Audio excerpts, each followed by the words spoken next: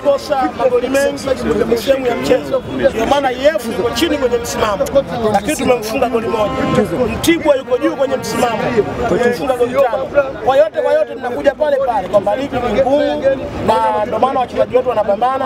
Kwa hiyo swala la goli nyingi, umemfunga nani, umeshinda vipi, ni masuala ya game plan, kwamba kila timu inapokuja kucheza na Simba ina game plan yake, na mwalimu pia naye anajipanga kwa ushindi, lakini target ni tano.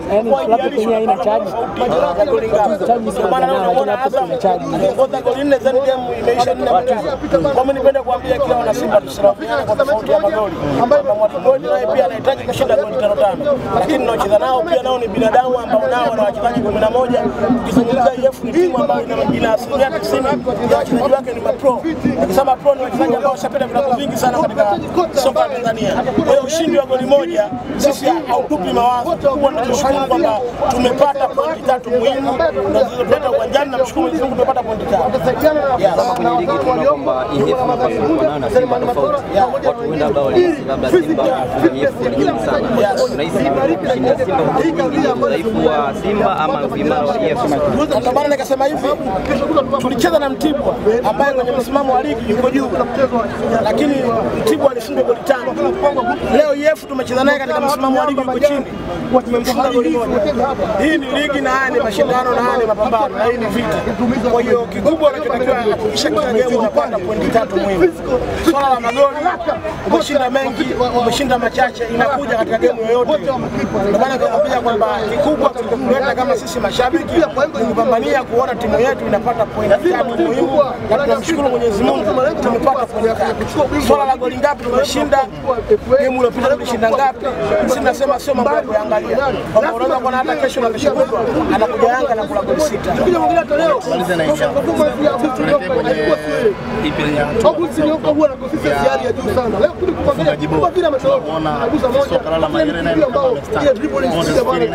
ile kwa Mimi nadhani kila klabu inayocheza nao kwamba inaamini ukienda Simba mtu ambaye anaweza kuchukua magoli mengi ni hiyo kila mwalimu anapokuja kucheza na Simba kwamba anahakikisha kwamba tumkabe Firi Simba lakini kwamba Mgunda yeye anachoangalia kwamba timu yetu ipate ushindi. Kama amekuja kumkaba Firi, mkabe Firi, kama Firi hatoshinda, lakini Simba itashinda. Kwa hiyo mimi naamini kwamba Moses ni mchezaji ambaye bado ana nafasi kubwa ya kuweza kupata ufungaji bora ndani ya NBC tumalize na hili swala kizushi tunajiuliza. Simba ni CAF Champions League. Young Africans CAF Confederation Cup. Kama mmewabeba hivi sehemu, lakini kama walikuwa wanaonekana kusuasua hivi, wameingia sasa katika hatua ya makundi. Una lipi la kuzungumza? Ah, Mimi napenda niseme vipi kwamba ukizungumzia CAF Champions League ambayo Simba tupo hatua makundi katika mashindano ya CAF, ukizungumzia klabu bingwa Afrika ndio mashindano ya kiume na wanaume kamili ambao wanania kupambana na kulala pale. Ukizungumzia kombe la shirikisho ni kombe la watu waliofeli au wale walioshindwa. So yetu tulishiriki mwaka jana kinyonge hiyo. Yaani kwamba tukishaingia tutafanyaje? Lakini mimi kinaambia ukizungumzia kombe la shirikisho nikiangalia kwamba hata ile kombe washiriki wana Simba Queens lina thamani kuliko ile kombe ambalo Yanga wameenda kufanya vurugu pale airport na kuwapokea wachezaji wao.